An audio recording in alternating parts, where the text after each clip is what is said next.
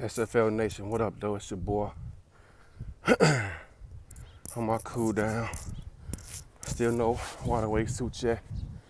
Coming to say a few things get off my chest. Number one, Diamond Donnie Hands. I don't know who gave him that nickname. That sounds like a damn wrestler. Not a football player, but it's whatever.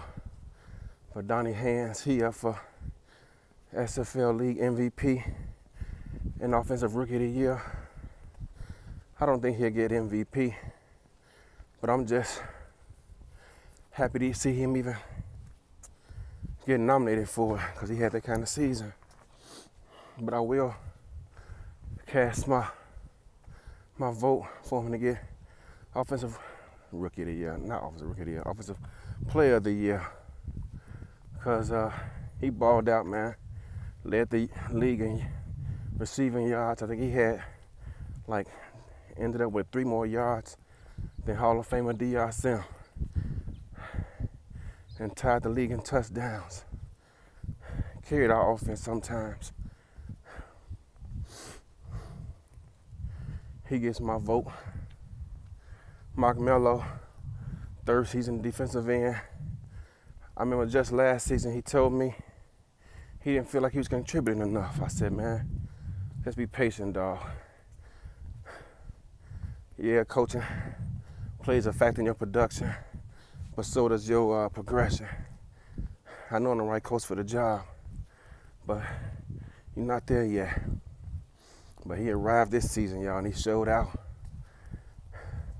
Tied for the league, league with 15 sacks. Led the league amongst all defensive ends with 50 tackles. Led the league amongst all defensive ends with 31 tackles for loss and had a fumble recovery. If he don't win that award, come on, man.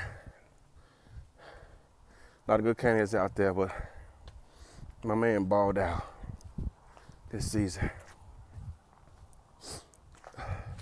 Had it not been for legend settings, he might have broke some records, but that's another story for another day.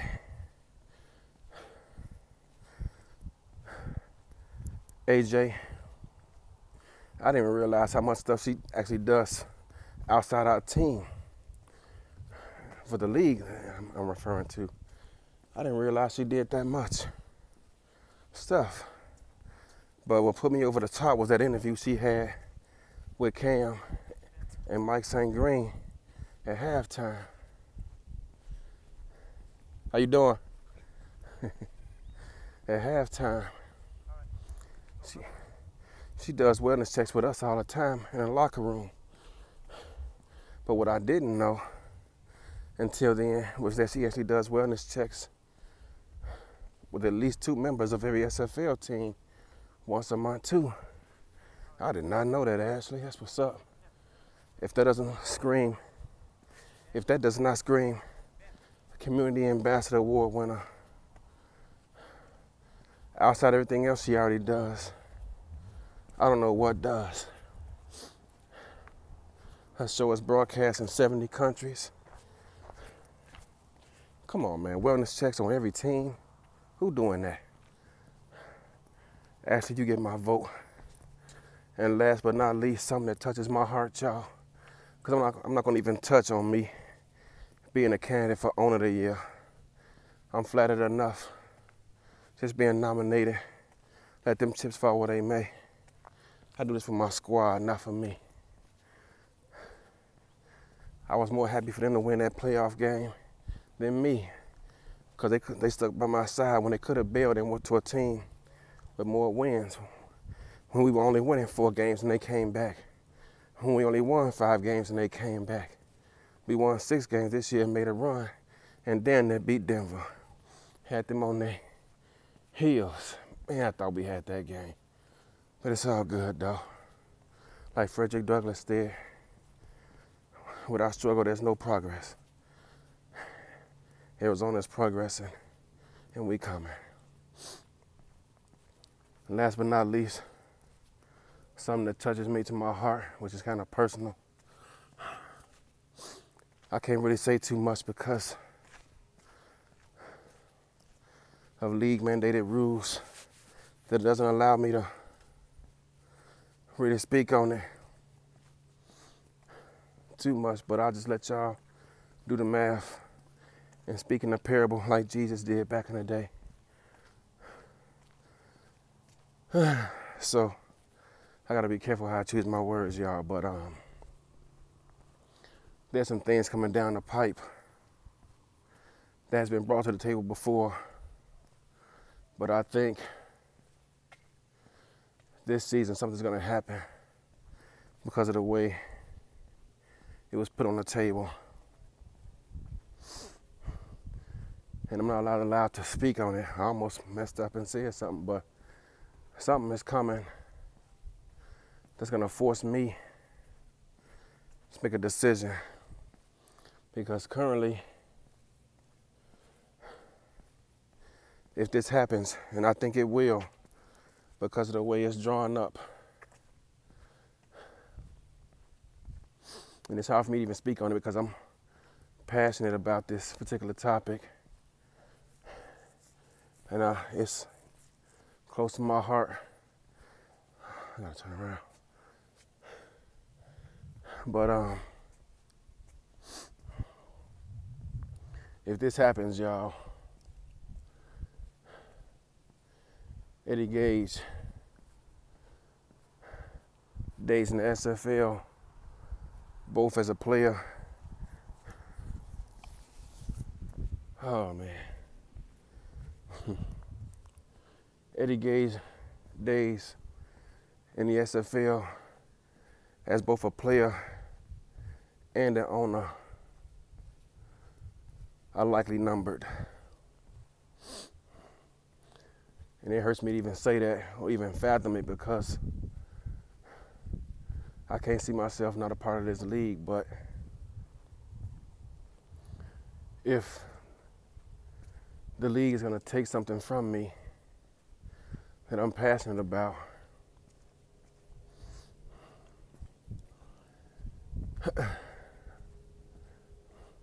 I can't see myself continuing being a part of this. And I purposely waited to say this after a certain thing took place yesterday because I'm not trying to influence anyone's decision making. And Ken knows what I'm talking about, and ownership knows what I'm talking about because I touched on this before. I don't like influencing people's decision. I want them to make their decision based off how they feel. And if this happens, the SFL gonna be just fine without me. I'm not saying this to threaten anybody or push any weight around. That's not what this is about. I'm just saying that maybe it might be time for me to go and find another hobby. Because if what's happened, if what happens that I'm thinking is going to happen, the way it was construed, the way it was proposed, this particular situation right here, I'm going to lose out on. And uh, it'll be an emotional time for me. And it's crazy because I've had owners tell me it's not personal. Yeah, it's not personal to you because you don't have a dog in that fight, fam. It's personal to me because I do.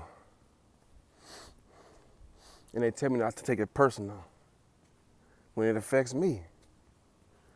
Now, what I'm talking about, y'all, it's crazy because it's so, right now, it's so it don't even affect, it wouldn't even affect but a handful of people. But it's people out here who want to see this through regardless. And uh, we'll see how it play out, but I don't think I'm gonna win this time. Arizona, I love y'all and I always will. And I'm sure that if and when this happens, somebody take over that mantle and keep Arizona pushing or migrate somewhere else to their city or whatever the case may be. But just know that I love y'all and I always will. And again, I'm not trying to dictate nothing to nobody, which is why I waited for a certain date and a certain time and a certain event in the place before I even mentioned this. But if this goes through, y'all, my days in SFL are definitely numbered. I just want y'all to know I have fun.